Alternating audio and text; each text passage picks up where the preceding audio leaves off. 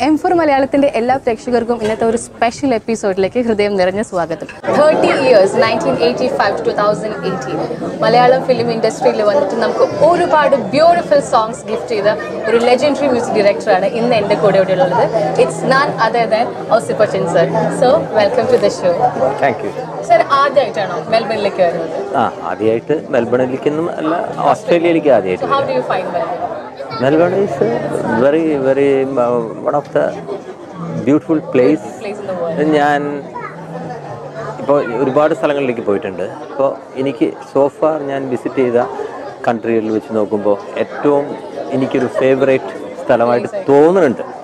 I Dr know how it will be for living ഇവിടുത്തെ ഓഡിയൻസിന്റെ ആ ഒരു റിയാക്ഷനോട് കിട്ടുമ്പോൾ I am pretty sure that സാറിന്റെ ബക്കറ്റ് ലിസ്റ്റിലെ ഏറ്റവും നല്ലൊരു പ്ലേസ് ആയിരിക്കും Melbourne because we all are so excited to have you here and we all are looking forward for your show sir അപ്പോൾ എനിക്ക് സാറിനോട് ചോദിക്കാനുള്ളത്. സർ മുപ്പത് വർഷത്തിൽ കൂടുതലായി ഇപ്പോൾ മലയാളം ഫിലിം ഇൻഡസ്ട്രിയിൽ വന്നത്? മലയാളം ഇൻഡസ്ട്രിയിൽ വന്നിട്ട് now forty years forty years eight I 88, started my career as a music director for for Aravam, directed by Bharadhan.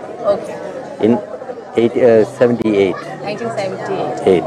Yes പക്ഷേ എയ്റ്റി ഫൈവിൽ 85, my first song came out. കാതോട് കാതോട് കാതോട് കാതോട് സോ ആ ഒരു മൂവിയിൽ എന്ന് പറയുകയാണെങ്കിൽ Bharathan sir O N V sir and Mammukka that combo is like really really.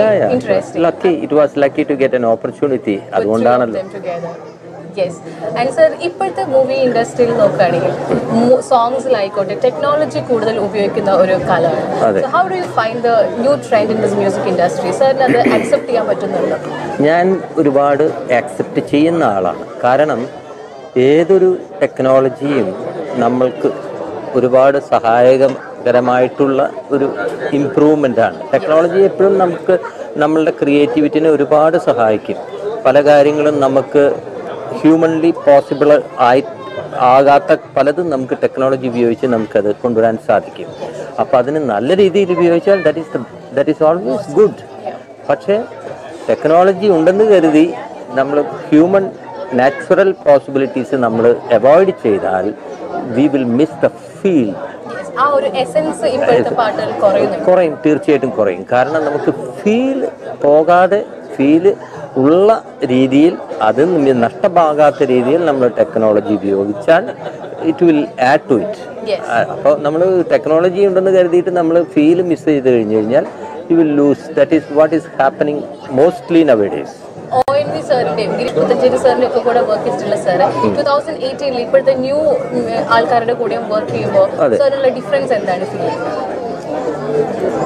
the you mean the difference in the composition composition wise um, actually i love doing things in a different way. അത് ഇന്നെന്നല്ല. ഇപ്പോൾ നാൽപ്പത് കൊല്ലം അല്ലെങ്കിൽ thirty five years back when I did my first song thirty thirty three years before ചെയ്യുമ്പോഴും I try to do something different in my compositions അത് അന്ന് ചില വളരെ ചുരുക്കം ചിലർ ശ്രദ്ധിച്ചു കാണും. Because I like thing doing things which is not done earlier മുമ്പ് ആ വെസ്റ്റേൺ ടച്ച് എന്ത് ടച്ച് ആയാലും നമ്മൾ what I always prefer is to do something different കാരണം ഇതിനു മുമ്പ് greatest or the great masters of our industry has done lot of good songs അപ്പൊ അത് നമ്മളിവിടെ വീണ്ടും റിക്രിയേറ്റ് ചെയ്യുന്നതിൽ കാര്യമില്ല. That's already done I love those songs and I will hear but ഞാൻ ഉണ്ടാക്കുമ്പോൾ അതേ സോങ് വീണ്ടും അതേപോലെ ഉണ്ടാക്കിയിട്ട് കാര്യമില്ല. We should give something different ആ ഡിഫറൻസ് ഉണ്ടാക്കുമ്പോൾ ലൈഫ് എന്ന് പറഞ്ഞൊരു സംഭവമുണ്ട്. നമ്മുടെ ഹ്യൂമൻ ഫീൽ അത് നഷ്ടമാകാതെ സൃഷ്ടിച്ചു കഴിഞ്ഞാൽ that that music will stay ആ കുറേ കാലം നിൽക്കും. സാറിന്റെ പാട്ടുകൾ ഇപ്പോഴും ഞാനൊക്കെ ചെറുതായിരിക്കുമ്പോൾ കേട്ട് വളർന്ന ഉണ്ണികളെ ഒരു കഥ പറയാം. നയന്റീസ് ബോൺ കിഡാണ് ഞാൻ. അപ്പൊ എനിക്ക് ഇപ്പോഴും സാറിന്റെ പാട്ടുകൾ അന്നത്തെ ഇന്നത്തെ പാട്ടുകൾ കേൾക്കുമ്പോൾ same feeling I am getting. അതിപ്പോഴും പുതിയ പല പാട്ടുകളിലും നമുക്ക് കിട്ടാറില്ല. സാർ ഒരു വയലിനിസ്റ്റ് ആയിട്ടാണ് ഇൻഡസ്ട്രിയിലേക്ക് വരുന്നത്. എന്നിട്ട് ആ ട്രാൻസാക്ഷൻ എങ്ങനെയായിരുന്നു? From a violinist to a music director that is എന്താ പറയുക ഞാനൊരു മ്യൂസിക് ഡയറക്ടർ ആകുന്നത് തന്നെ ഒരു വയലിനിസ്റ്റ് ആയതുകൊണ്ടാണ് അതൊരു നിമിത്തം എന്ന് നമ്മൾ പറയും. ഇപ്പോൾ പലരും പല ഇൻസ്ട്രുമെന്റും വായിക്കുന്നവർ മ്യൂസിഷ്യൻസ് ആയിട്ടുണ്ട്. പക്ഷേ എന്നെ സംബന്ധിച്ചിടത്തോളം കാതോട് കാതോരം എന്ന് പറഞ്ഞ ഫസ്റ്റ് ഫിലിം ഞാൻ ചെയ്യാനുള്ളൊരു കാരണം ഞാനൊരു വയലിനിസ്റ്റ് ആയിരുന്നു എന്നുള്ളത് കൊണ്ടാണ്. അത് ഒരുപാട് റിലേറ്റഡ് ആണ്.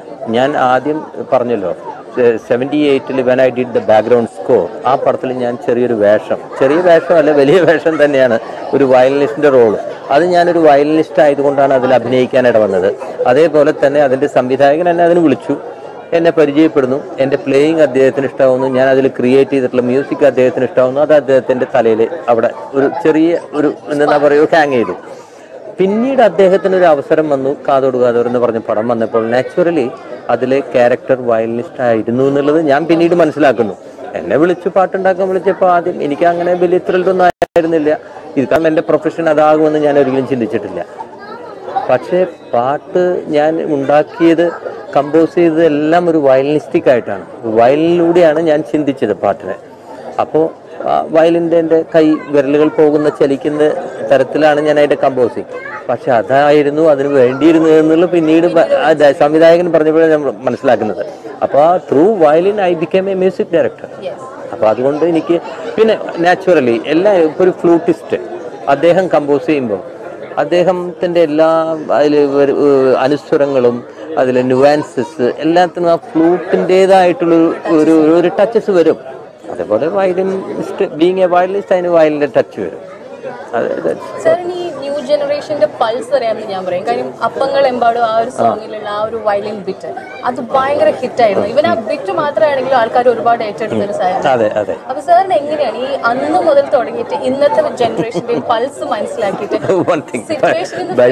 By a small correction. Uh, അപ്പങ്ങൾ എൻപാടും എന്ന് പറഞ്ഞത് എന്റെ സോങ് അല്ല അത്. That's not my song that is composed by one mister Gopi Sundar so I have violin bit and actually it is lot of people thought I played it because you know the reasons so but ഞാനല്ല അത് വായിച്ചിരിക്കുന്നത്. I have played it I have played lot of my songs I have played violin bits lot of other music directors I think in India mostly for all the music directors I have played violin solo mainly South India Ilaiyaraaja uh, even A.R. Rahman, when he became started, he was playing for me. When he started playing, uh, I mean, uh, doing music, I used to play for him also. I was a basically violinist. I never left my violin. That's what I am. That I think that I always. That is why I am still here. I play violin. If I am not playing violin, I would not come to Australia. So I never left it. Uh, So, um, what you are, I, I wanted to correct that. That yes. it was not played by me. It sure. was a lot of people think that way yeah. naturally. Even I thought it that way. Ah, no, no, no, no. സാറിന് ഇപ്പോ ആ, രണ്ട് state award ഒരു national award there are three state awards. Okay. Okay three state ഒന്ന് background score. Yeah, for uh, music and രണ്ടെണ്ണം yeah, yeah, yeah. അപ്പൊ സാറിന് recognitions കുറഞ്ഞു പോയെന്ന് തോന്നുന്നു ബിക്കോസ് സാറിന്റെ പാട്ടുകളെല്ലാം അത്രയും സൂപ്പർ ഹിറ്റ് സോങ്സുകളാണ് ഒരുപാട് അത് കുറഞ്ഞു പോകുന്നതല്ല എന്നേക്കാൾ നന്നായിട്ട് മറ്റ് സംഗീത സംവിധായകരെ ആ കാലഘട്ടത്തിൽ ആ ഒരു പിരീഡിൽ ആ അവാർഡ് നിർണയിക്കപ്പെടുന്ന ആ കാലഘട്ടത്തിൽ ചെയ്തിട്ടുള്ളത് കൊണ്ടായിരിക്കുള്ളൂ അങ്ങനെ വന്നത്.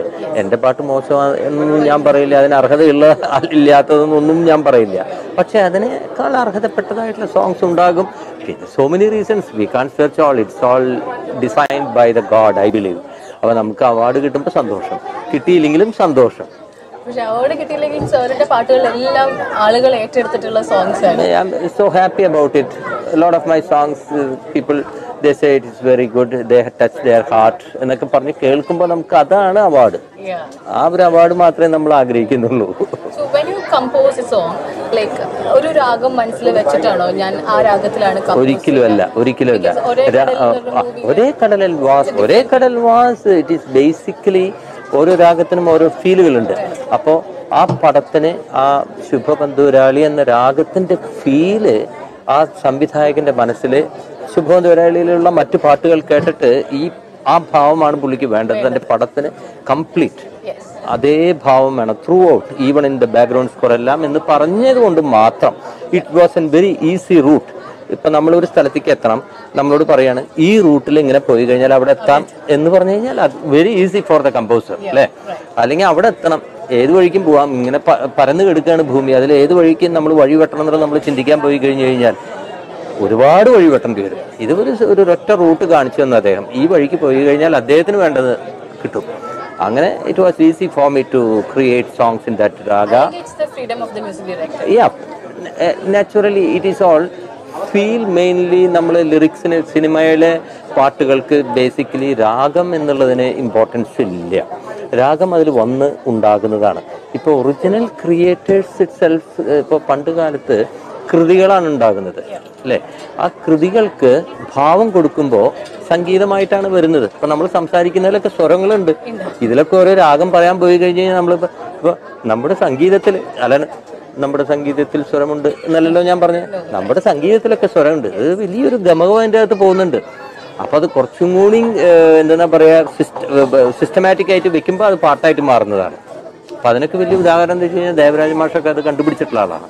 എങ്ങനെ ഒരു പാട്ടിന് വരികൾക്ക് എങ്ങനെ ഭാവം കൊടുത്ത് അതിനെ ഒരു പാട്ടാക്കി മാറ്റാം. വരികൾക്ക് ഭാവം കൊടുത്ത് പാട്ടാക്കി മാറ്റുന്ന ആ ഒരു സിസ്റ്റം തന്നെ എനിക്ക് തോന്നുന്ന ഏറ്റവും ആദ്യം ഓതന്റിക് ആയിട്ട് കണ്ടുപിടിച്ചത് സ്ട്രോങ് ആയിട്ട് കണ്ടുപിടിച്ചത് ദേവരാജ് മാഷ് അതെ എന്നെ ആദ്യം കൂട്ടിക്കൊണ്ടുപോകുന്നത് ഞങ്ങളൊക്കെ ഗുരുസ്ഥാനീയനായിട്ടുള്ള വ്യക്തിയാണ്. എന്റെയും ജോൺസിന്റെ ഒക്കെ അന്നത്തെ കാലത്ത് എല്ലാ സംഗീതജ്ഞന്മാരുടെയും ഗുരുസ്ഥാനിയാണ് ദേവരാജൻ മാസ്റ്റർ. അവരൊക്കെ ഇങ്ങനെ കാണിച്ചുന്ന വഴി കൂടെ നമ്മൾ പോകുന്നു.